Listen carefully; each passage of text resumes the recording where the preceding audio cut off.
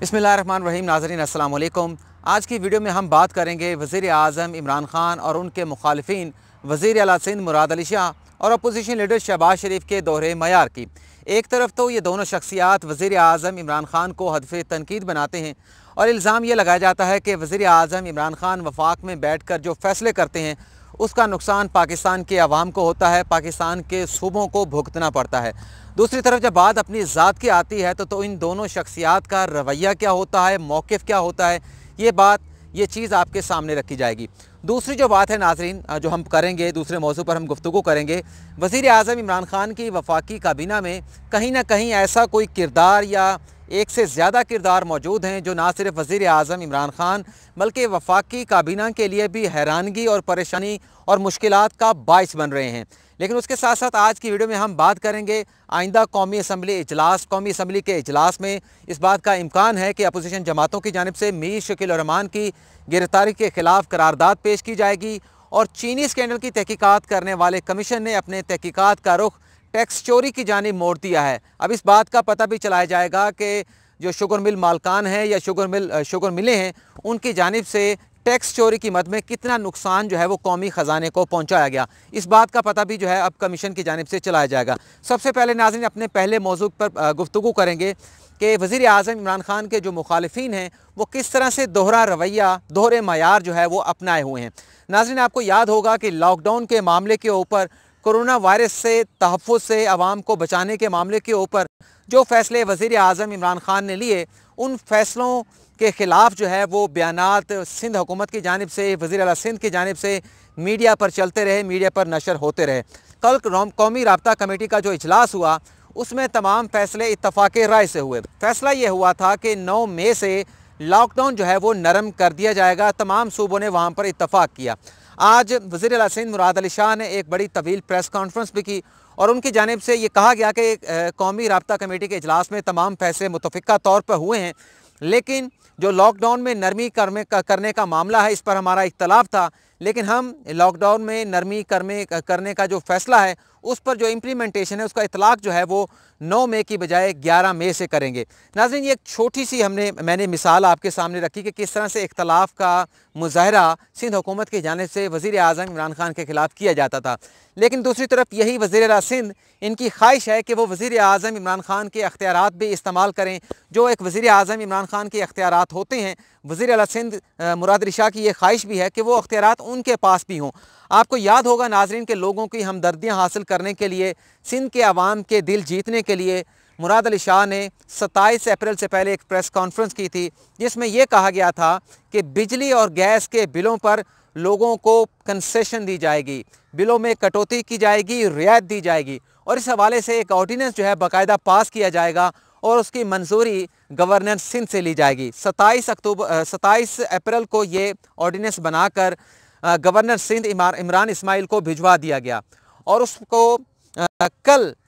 Governor Sindh Imran Ismail की जानब से उस ऑर्डीनेंस को मुस्रद कर दिया गया और उस पर एतराज़ ये लगाए गए कि सिंध किस तरह से बिजली और गैस के बिलों के ऊपर अपने आवाम को रिलीफ फ्राहम कर सकता है या फिर रिलीफ फ्राहम करने का ऐलान कर सकता है, ये दोनों अख्तियार जो है वो वज़ी अजम इमरान ख़ान के हैं और इस हवाले से गैस और बिजली के गिलों पर रिलीफ देने के हवाले से वज़ी अजम इमरान खान फैसले भी कर चुके हैं, रिलीफ देने का ऐलान भी कर चुके हैं। और ये कहा गया कि दोनों शोबाजात वफाकी हुकूमत से मुतल हैं, इस पर सिंध हुकूमत जो है वो कोई फ़ैसला नहीं कर सकती, कोई उनका अख्तियार नहीं है। तो आप अंदाज़ा लगा सकते हैं कि एक तरफ़ तो वज़ी अजम इमरान खान के फ़ैसलों पर तनकीद, दूसरी जानब ख्वाहिश ये है कि हज़ारों ख्वाहिशें ऐसी कि हर ख्वाहिशों ख्वाहिश पर दम निकले कि अख्तियार भी हमने वो इस्तेमाल करने हैं जो वज़ी अजम पाकिस्तान के हों, जो वज़ी अजम इमरान खान के हों। अब हम बात कर लेते हैं अपोजिशन लीडर शहबाज शरीफ की भी। नाजिन आपको याद होगा, कुछ रोज़ पहले उनकी जानब से भी एक स्टेटमेंट दिया गया था कि जो आटा चीनी स्कैंडल की तहकीक़ात के लिए कमीशन बनाया गया है,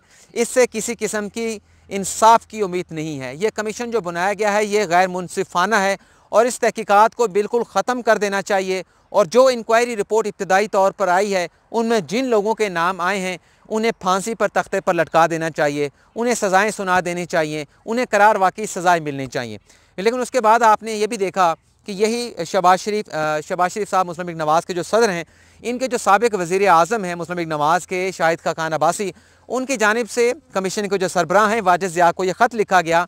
कि मुझे और हमारे पार्टी के जो दूसरे रहनुमा हैं खुरम दस्तगीर, उन्हें बुलाया जाए और हम कमीशन में अपना बयान रिकॉर्ड कराना चाहते हैं। हमारे पास कुछ ऐसी मालूम हैं कि चीनी स्कैंडल में कुछ लोगों ने सौ अरब रुपया कमाया है, सौ अरब रुपये का डाका आवाम की जेबों पर डाला गया है। आज भी ये ख़त लिखा गया। आज नौ में आज आठ में है। आज भी ये ख़त शाहिद खाकान अब्बासी की जानब से जो कमीशन के सरबराह हैं वाज ज़िया को लिखा गया और इसमें फर्दर डेवलपमेंट ये हुई है कि कमीशन के सरबराह वाज ज़िया की जानब से शाहिद खाकान अब्बासी और खुरम दस्तगीर को बुला लिया गया है कि आप आएँ और अपना बयान आकर रिकॉर्ड करें और बताएँ आपके पास कौन सी ऐसी एविडेंस है जिसके मुताबिक आप ये कह रहे हैं। कि चीनी बहरान में, चीनी स्कैंडल में आवाम की जेबों पर सौ अरब रुपये का डाका जो है वो डाला गया। अब इसमें दोहरा मैार ये है कि एक तरफ़ तो वज़ी अजम इमरान खान के बनाए हुए कमीशन को गैर मुनसफ़ाना कहते हैं और कहते ये हैं कि इंसाफ की हमें तो नहीं है। दूसरी तरफ़ उसी कमीशन में पेश होने के लिए, बयान रिकॉर्ड कराने के लिए दरख्वास्तें भी दी जाती हैं, इल्तजाएँ भी की जाती हैं कि हमारा बयान भी जो है वो रिकॉर्ड किया जाए। अब हम बात कर लेते हैं वज़ी अजम इमरान खान की वफाकी काबीना में कुछ ऐसे किरदार मौजूद हैं जो इमरान खान के लिए और काबीना के लिए हैरानगी और परेशानी का बायस बनते हैं। कादियानियों के हवाले से जो एक एपिसोड हुआ, वो नाजरीन आपके सामने है। वफाकी काबीना ने वो फैसला वापस ले लिया कि अकलीती कमीशन में कादियानियों को मेंबर नहीं बनाया जाएगा। आज इस्लामाबाद हाई कोर्ट में एक दरख्वास्त दायर कर दी गई है शोधा कमीशन की जानब से, हाफिज़ एहतशाम की जानब से, कि काबीना का जो पहला फैसला था, जिसमें कादियानियों को कमीशन का, अकलीती कमीशन का मेंबर बनाने का, रुकन बनाने का फ़ैसला किया गया था वो फ़ैसला बहाल किया जाए और जो आखिरी फ़ैसला काबीना की जानब से किया गया है, उसे कलदम करार दिया जाए। इसी आखिरी काबीना के अजलास में एक और समरी भी वजारत सेहत की जानब से पेश की गई, जिसमें वफाकी काबीना से इस बात की इजाज़त लेने के लिए, इस बात की मंजूरी लेने के लिए समरी भेजी गई थी कि मौजूदा हालात में भारत से कुछ लाइफ सेविंग ड्रग्स जो है वो इम्पोर्ट करना है। ये लाइफ सेविंग ड्रग्स इंडिया से इम्पोर्ट करने के मामले पर यह समरी भिजवाई गई थी। और इस समरी को जब देखा गया वफाकी काबीना की जानब से तो इस पर बड़ी हैरानगी का इजहार किया गया कि साढ़े चार सौ से जायद अद्वियात इम्पोर्ट करने से मुतल ये जो समरी जिसकी मंजूरी वफाकी काबीना से लेने के लिए वजारत सेहत की जानब से भिजवाई गई हैं, इसमें कुछ ऐसी अद्वियात भी शामिल हैं जिनका ताल्लुक जो है वो लाइफ से लाइफ सेविंग ड्रग्स से नहीं है। बल्कि वो आम मामूल की अद्वियात हैं और इसमें ऐसी अद्वियात भी शामिल हैं ऐसी गोलियाँ भी शामिल हैं जो विटामिन की गोलियाँ हैं। तो इस पर जब सवाल किया गया वज़ी अजम इमरान खान की जानब से वज़ी अजम इमरान खान की वफाकी काबीना के बाकी अरकान की जानब से भाई ये क्या चीज़ है? चलें इस हद तक तो ठीक है कि हम आ, ऐसी लाइफ सेविंग ड्रग्स जो है वो इंडिया से इम्पोर्ट करना चाहते हैं जो ज़िंदियाँ बचाने के लिए ज़रूरी हैं। ये विटामिन की गोलियाँ क्यों मंगवाई जा रही हैं? आम मामूल की गोलियाँ बाहर से क्यों मंगवाई जा रही हैं? जब कबीना अपने एक पहले बहुत पहले इजलास में ये फैसला कर चुकी है कि कश्मीर पर में जो जुल्म सितम के पहाड़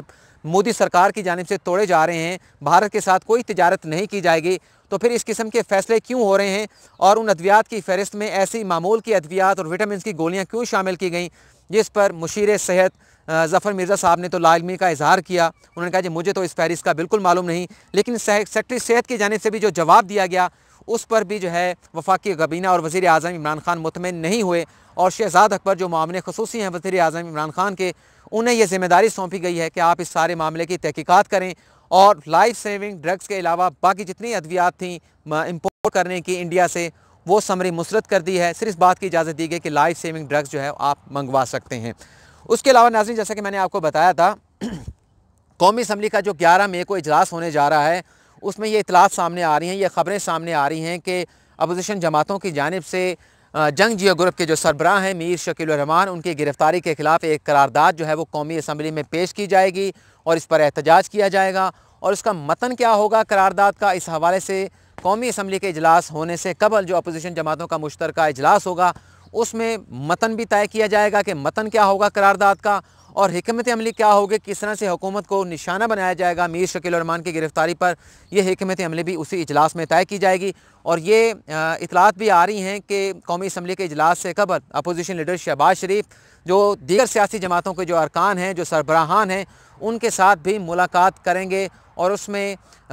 कौमी असम्बली का जो अजलास होने वाला है, हुकूमत पर किस तरह से तनकीद का, तनकीद की जाएगी, इसकी हमत अमली के मामले पर जो है वो गौर किया जाएगा, बात की जाएगी। और उसके अलावा नाजन हमारा जो मौजू था, जो हमने आपको बताया था कि चीनी स्कैंडल की तहकीक़ात करने वाले कमीशन ने अपनी तहकीक़ात का रुख अब तब्दील कर दिया है। दस शुगर मिलों से जिनका नाम इब्तदाई तौर पर इंक्वायरी रिपोर्ट में आया था, उनसे, उनके पाँच साल का टैक्सेस अदा करने का रिकॉर्ड जो है वो तलब कर लिया गया है। और अब कमीशन जहाँ इस बात की तहकीकात करेगा कि जो चीनी एक्सपोर्ट की गई थी, आया के